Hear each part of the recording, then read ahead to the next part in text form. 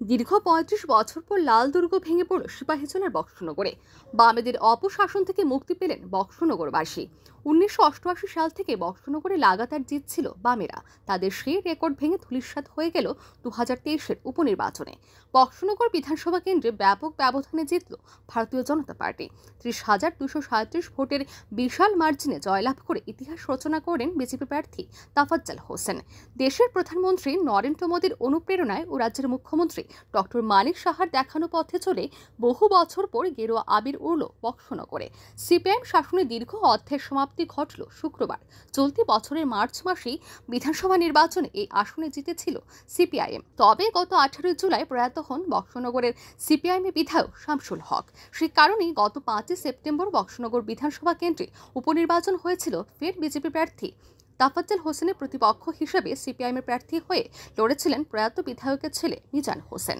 মাত্র তিন হাজার নয়শো নয়টি ভোট পেয়ে জামানত জব্দ হয়েছে তার। ত্রিস্তরীয় নিরাপত্তার মধ্যে উৎসবের মেজাজে নির্বিঘ্নে সম্পন্ন হয়েছিল বক্সনগরে ভোট গ্রহণ প্রক্রিয়া। শুক্রবার প্রকাশিত হল সেই উপনির্বাচনের ফলাফল। মানুষ বুঝল সিপিআইএমের দ্বারা বক্সনগরে উন্নয়ন সম্ভব নয়। একমাত্র ডাবল ইঞ্জিন সরকারের পক্ষে সম্ভব রাজ্যের প্রকৃত উন্নয়ন করা। বক্সনগরবাসীকে অকুণ্ঠ ধন্যবাদ জানিয়ে রাজ্যের মুখ্যমন্ত্রী ডক্টর মানিক শাহ দেশের প্রধানমন্ত্রী নরেন্দ্র মোদীর প্রতি শুক্রবার কৃতজ্ঞতা জ্ঞাপন করলেন বক্সনগর বিজয়ী বিধায়ক তাফাজ্জাল হোসেন। জানালেন, এখানকার জনসাধারণের সামগ্রিক উন্নতির জন্য অক্লান্ত পরিশ্রম করবেন তিনি। আজকে যারা গণদেবতারা রায় দিয়েছে, সেই রায়কে আমি ধন্যবাদ জানাব এবং গণদেবতাকে, আমার হৃদয় থেকে আমি ধন্যবাদ জানাব। প্রথম কাজ কি থাকবে? এখানে তো অনেক অনুন্নয়ন হলো প্রথম কাজ হলো ডেভেলপমেন্ট সবকা সাথ সবকা বিকাশ যে মন্ত্র আমার নরেন্দ্র মোদীজি তার সাথে যে আমার জনপ্রিয় মুখ্যমন্ত্রীজি এক ত্রিপুরা শ্রেষ্ঠ ত্রিপুরা গড়ার লক্ষ্যে ত্রিপুরা রাজ্যে যে ডাবল ইঞ্জিনের সরকার চলছে এবং উন্নয়নের বন্যা বইছে এবং উন্নয়নের যজ্ঞ চলছে এই বক্সনগরকে জাস্ট মিলিয়ে দেওয়া। যে উন্নয়নের সাথে বক্সনগরকে মিলিয়ে দেওয়া। সেটাই হলো আমার কাজ। সবচেয়ে সমস্যা বক্সনগরে আমরা দেখেছি রাস্তাঘাট।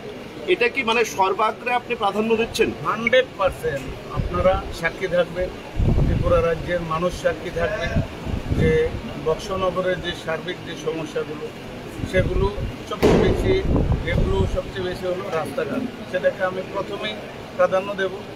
এরপরে মানুষের চাহিদা অনুসারে প্রত্যেকটি কাজই আমি করব। যা বক্সনগর আজকে পঁচিশ বছর ধরে উন্নয়ন স্তব্ধ হয়ে আছে, সেই উন্নয়নকে আজকে আমাদের জনপ্রিয় মুখ্যমন্ত্রীর যে চিন্তা ভাবনা, যে স্বপ্ন, তার সাথে আমি মিলিয়ে দেবো।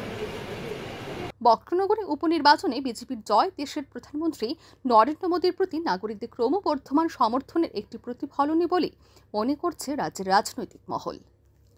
ব্যুরো রিপোর্ট আর ই নিউজ।